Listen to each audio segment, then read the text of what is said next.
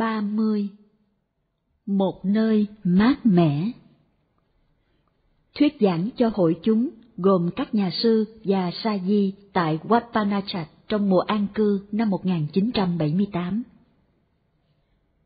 Sự thực hành giáo pháp Dhamma đi ngược với những thói quen của chúng ta, sự thật đi ngược lại với những ham muốn của chúng ta, do đó có sự khó khăn trong việc thực hành. Một số điều mà chúng ta hiểu là sai thì có thể đúng, trong khi những điều chúng ta cho là đúng lại có thể sai. Tại sao vậy? Bởi vì tâm của chúng ta đang ở trong sự tâm tối, chúng ta không thấy sự thật một cách rõ ràng. Chúng ta thật sự chẳng biết gì cả, và do đó bị lừa dối bởi những lời dối trá của mọi người. Họ chỉ điều đúng thành sai, và chúng ta tin điều đó. Những gì sai thì họ nói là đúng, và chúng ta tin như vậy.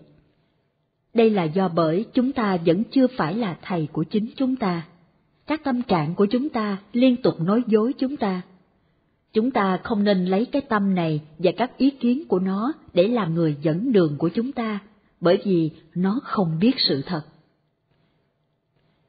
Một số người không muốn lắng nghe người khác gì hết, nhưng đây không phải là cách hành xử của một người có trí tuệ. Người có trí tuệ lắng nghe mọi thứ.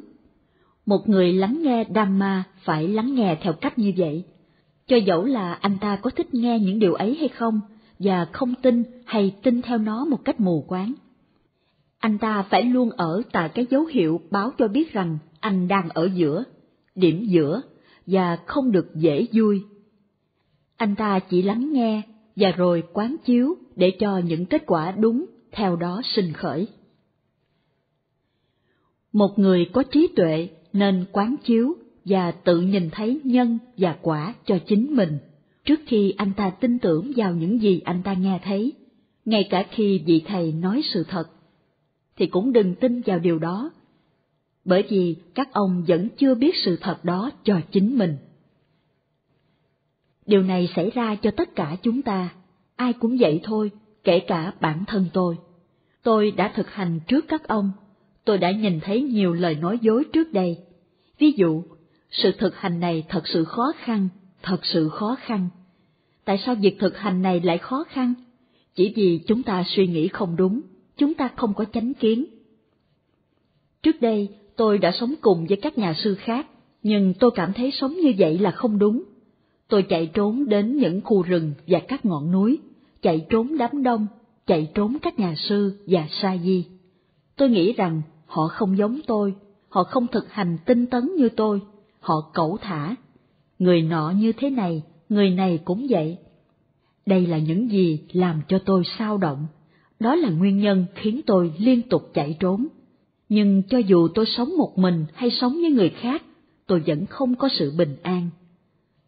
Sống một mình tôi không hài lòng, ở với một nhóm nhiều người tôi cũng không hài lòng. Tôi nghĩ rằng sự bất mãn này là do những người sống quanh tôi, do tâm trạng của tôi, do chỗ ở của tôi, do thực phẩm, thời tiết, do điều này và điều nọ mà ra. Tôi đã liên tục tìm kiếm một cái gì đó phù hợp với tâm của tôi. Là một nhà sư thực hành hạnh đầu đà, tôi đã đi từ nơi này sang nơi khác, nhưng mọi thứ vẫn không đúng. Vì vậy tôi quán chiếu. Tôi phải làm gì để làm cho mọi việc trở nên đúng? Tôi có thể làm gì? Sống với nhiều người tôi không hài lòng, sống chỉ với một vài người tôi cũng không hài lòng. Lý do là gì vậy? Tôi đã không thể nhìn thấy nó. Tại sao tôi không hài lòng? Bởi vì tôi đã có cái thấy sai lầm, tà kiến. Đúng thế, bởi vì tôi vẫn bám vào Dhamma. Đi đâu tôi cũng bất mãn, suy nghĩ rằng chỗ này không tốt, chẳng có gì tốt cả, cứ như thế mãi. Tôi đổ lỗi cho người khác, tôi đổ lỗi cho thời tiết, nóng và lạnh, tôi đổ lỗi cho mọi thứ. Giống như một con chó điên, nó cắn bất cứ thứ gì nó gặp, bởi vì nó điên. Khi tâm như thế này, thì chúng ta không bao giờ có thể ở yên một chỗ để mà tu hành. Hôm nay chúng ta cảm thấy tốt, ngày mai lại cảm thấy không tốt, lúc nào cũng thấy như vậy. Chúng ta không có được sự mãn nguyện hoặc an bình. Đức Phật đã từng nhìn thấy một con giả can, một con chó rừng, chạy ra khỏi khu rừng nơi nó ở. Nó đứng yên một lúc, sau đó nó chạy vào các bụi cây và rồi lại chạy ra. Sau đó nó chạy vào một cái thân cây rỗng, rồi lại chạy ra trở lại. Rồi nó đi vào một cái hang, đi vào chỉ để chạy trở ra.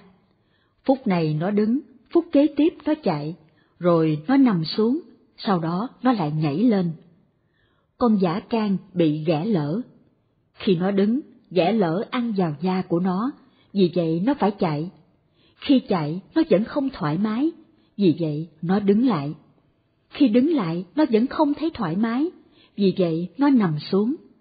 Và rồi nó nhảy lên, chạy vào bụi cây, chạy vào thân cây rỗng, không bao giờ ở yên một chỗ. Đức Phật dạy, Này các tỳ khưu, hồi chiều các ông có thấy con chó rừng đó không? Đứng nó khổ, chạy nó khổ, ngồi nó khổ, nằm nó khổ. Ở trong bụi cây, thân cây rỗng hoặc trong hang động, nó đều khổ. Nó đổ cho sự khó chịu của nó cho lỗi của đứng. Nó đổ lỗi cho ngồi, nó đổ lỗi cho chạy và cho nằm. Nó đổ lỗi cho cây rỗng, cho bụi cây và hang động. Trong thực tế, vấn đề không nằm trong những điều đó. Còn giả can đó bị ghẻ lỡ. Vấn đề là do ghẻ lỡ. Là các nhà sư, chúng ta cũng giống như con giả can đó. Sự bất mãn của chúng ta là do tà kiến, bởi vì chúng ta đã không thực hành thu thúc các căn nên chúng ta đổ sự đau khổ của chúng ta cho những thứ bên ngoài. Cho dù chúng ta sống ở Wat Papong, ở Mỹ hay ở London, chúng ta đều không hài lòng. Đi đến sống tại Bungwai hay bất kỳ chi nhánh tu viện nào khác, chúng ta vẫn không hài lòng. Tại sao vậy? Bởi vì chúng ta vẫn còn quan kiến sai lầm bên trong chúng ta. Cho dẫu đi đâu, chúng ta đều không hài lòng. Con chó đó, nếu ghẻ lỡ của nó được chữa lành, thì đi đâu nó cũng hài lòng. Trường hợp của chúng ta cũng giống như vậy. Tôi thường phản tỉnh trên điều này, và tôi cũng thường dạy cho các ông điều này, bởi vì nó rất quan trọng. Nếu chúng ta biết được sự thật của những tâm trạng khác nhau của chúng ta, chúng ta sẽ có được sự hài lòng. Cho dù trời nóng hay lạnh, chúng ta đều hài lòng cho dù sống với nhiều người hoặc chỉ với vài người, chúng ta đều hài lòng. Sự hài lòng không phụ thuộc vào số người mà chúng ta sống với họ, nó chỉ đến từ chánh kiến. Nếu chúng ta có chánh kiến, thì ở đâu chúng ta cũng đều hài lòng. Nhưng hầu hết chúng ta đều có quan kiến sai lầm, tà kiến. Nó giống như một con dòi. Con dòi sinh sống ở nơi dơ bẩn, thực phẩm của nó là thứ dơ bẩn, nhưng chúng lại phù hợp với dòi. Nếu các ông lấy một cái que và khều nó ra khỏi cục phân, con dòi sẽ cố gắng bò trở lại. Việc này giống như khi vị thầy dạy chúng ta nhìn cho đúng, thì chúng ta chống đối lại. Những gì vị thầy dạy khiến chúng ta cảm thấy không thoải mái, chúng ta chạy trở về lại đóng phân của chúng ta, bởi vì đó là nơi chúng ta cảm thấy thoải mái. Tất cả chúng ta đều như vậy cả. Nếu chúng ta không nhìn thấy những hậu quả có hại đến từ những quan kiến sai lầm của chúng ta, thì chúng ta không thể buông bỏ chúng, việc thực hành do đó sẽ khó. Vì vậy, chúng ta nên lắng nghe. Ngoài việc lắng nghe ra, không có gì khác để thực hành. Nếu chúng ta có chánh kiến, bất cứ nơi nào chúng ta đi đến, chúng ta đều hài lòng. Tôi đã thực hành và nhìn thấy điều này Ngày nay có rất nhiều nhà sư, sa di và cư sĩ đến gặp tôi. Nếu tôi vẫn không biết, nếu tôi vẫn còn có tà kiến, thì giờ đây tôi đã chết mất rồi. Chỗ dựa đúng đắn cho các nhà sư, nơi mát mẻ, chính là chánh kiến. Chúng ta không nên tìm kiếm bất cứ thứ gì khác. Vì vậy, mặc dù các ông có thể không vui, nhưng điều đó không quan trọng. Sự đau khổ đó không chắc chắn sự đau khổ của các ông có tự ngã không? Nó có thực chất không? Nó có thật không? Tôi không thấy nó thật gì cả. Sự đau khổ chỉ đơn thuần là một thứ cảm xúc, nó xuất hiện như một tia chớp, lóe lên và rồi biến mất. Hạnh phúc cũng giống như vậy. Hạnh phúc có vững bền không? nó có thật sự là một thực thể không? Nó chỉ đơn giản là một thứ cảm xúc, dục lóe lên và rồi biến mất. Đó, nó sinh khởi và sau đó nó hoại diệt. Tình yêu chỉ lóe lên trong một khoảnh khắc và rồi biến mất. Sự thường hằng trong tình yêu, hoặc ghét, hoặc oán giận ở đâu? Trong thực tế, không có thực thể nào ở đó cả. Chúng chỉ là những cảm xúc bùng lên trong tâm và rồi hoại diệt. Chúng liên tục đánh lừa chúng ta. Chúng ta không thể tìm thấy sự chắc chắn ở bất cứ đâu. Đức Phật đã dạy rằng khi đau khổ sinh khởi, nó trụ lại một thời gian và rồi biến mất. Khi đau khổ biến mất, hạnh phúc sinh khởi, kéo dài trong một thời gian và sau đó nó hoại diệt. Khi hạnh phúc biến mất, đau khổ lại sinh khởi, và cứ tiếp tục như vậy. Cuối cùng, chúng ta có thể nói chỉ mỗi điều này. Ngoài sự sinh, sự sống và cái chết đầy đau khổ thì không có gì cả. Chỉ có mỗi điều này thôi.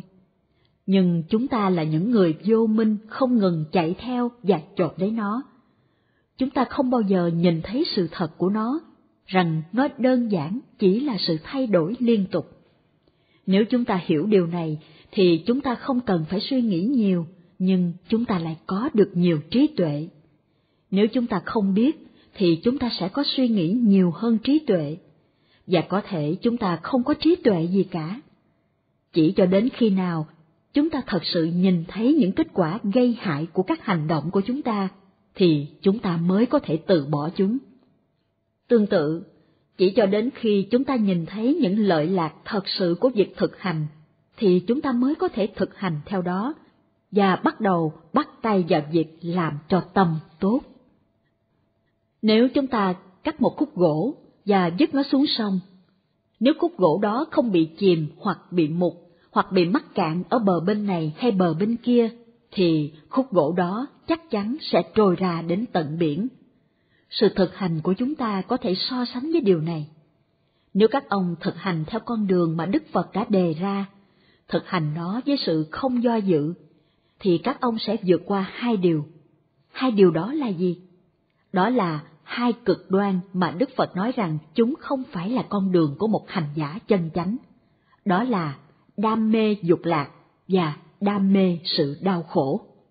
Đây là hai bờ của một con sông. Bờ bên này của con sông là ghét, bờ bên kia là yêu thích.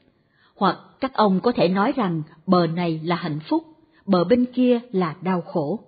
Khúc gỗ là cái tâm này. Khi nó trôi theo dòng sông, nó sẽ trải nghiệm hạnh phúc lẫn đau khổ.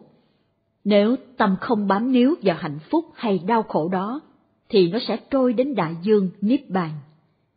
Các ông sẽ thấy rằng chẳng có gì khác hơn là hạnh phúc và đau khổ, sinh khởi và hoại diệt. Nếu các ông không mắc cạn trong hạnh phúc và đau khổ, thì các ông đang đi trên con đường của một hành giả chân chính. Đây là lời dạy của Đức Phật. Hạnh phúc, đau khổ, tình yêu và ghét bỏ chỉ đơn giản được thiết lập trong thiên nhiên theo định luật thiên nhiên không dời đổi. Người có trí tuệ không theo hay cổ vũ chúng, anh ta không bám níu lấy chúng. Đây là cái tâm đã buông bỏ niềm đam mê dục lạc và niềm đam mê đau khổ. Nó là sự thực hành đúng. Giống như khúc gỗ cuối cùng sẽ trôi ra biển, cái tâm không dính mắc với hai cực đoan này cũng vậy, nó chắc chắn sẽ đạt được sự bình an. Theo The Place of Coolness Theo The Place of